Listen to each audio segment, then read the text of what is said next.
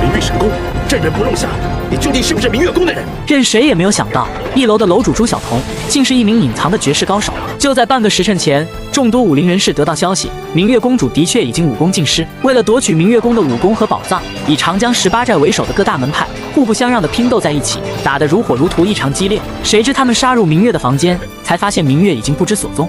住手！调虎离山，我们出击了！你们乔装成工匠离开之后，就马上赶往渡头。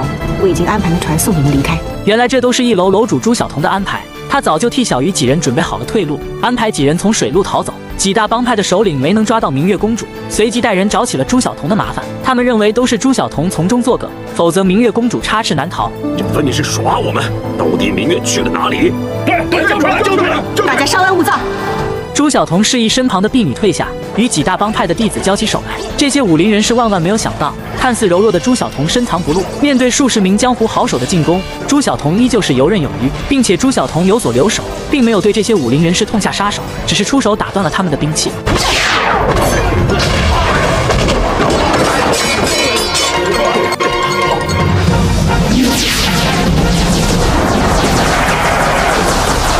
小童打退众人后，凝聚出了一道透明的防护罩。两个不怕死的帮派弟子冲了上去，却直接被防护罩反弹了回去。这也让三大首领认出了这门武功。明月神功，这人不露相，你究竟是不是明月宫的人？管他是什么人，我们三人联手，定能制住他。上！三大首领联手围攻起了朱晓彤，朱晓彤却在转眼之间就将一人给击飞了出去。剩下的两大首领见状，并起全身内力一掌挥出，与朱晓彤比拼起了内力消耗。朱晓彤的脸色平静，没有丝毫吃力的表情。本来已是稳操胜券，不曾想方才被朱晓彤打飞出去的那人，抓准时机搞起了偷袭，一掌将朱晓彤打得口吐鲜血。朱晓彤反应过来，全力爆发，将三大首领震晕过去，而他自己则是逃出了一楼。再看小鱼和无忌几人，同样遭遇了危险。宇文双的二叔宇文吉等人干掉了朱晓彤安排的人手，对小鱼几人发起了攻击。小鱼几人在乱箭之下分开逃窜，宇文吉施展轻功追了过来，抓住宇文双，威胁起了无忌，要无忌用明月公主交换宇文双。把明月交给我！别胡来！宇文吉，你是不是人呐？她可是你的侄女儿。她是我的侄女，她也是宇文普的女儿啊！只要我得到明月宫的武功和宝藏，我就能重振不二庄。啊，卑鄙！快！宇文吉加重力道掐住了宇文双，让喜欢宇文双的无忌痛心不已。他知道喜欢明月公主的长春是不可能会同意交出明月公主，于是突然出手抓住了明月公主，要和宇文吉交换宇文双。来吧，来吧，无忌！宇文吉要去抓捕明月公主，却被无忌出手拦了下来。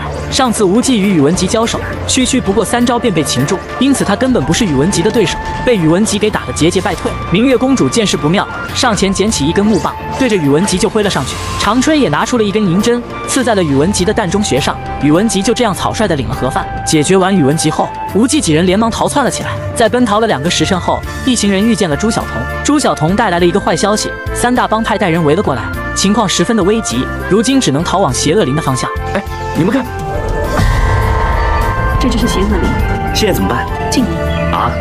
我们后有追兵，这是唯一的生路。可是走入瘴气林也是死路啊！朱晓彤告诉无忌几人，邪恶灵在每年的秋天，瘴气会变得比较稀薄。他早就已经测算过，今日辰时是最佳的入林时机。错过了就要再等十天。现在刚好是辰时，我们快走吧。把明月留下来。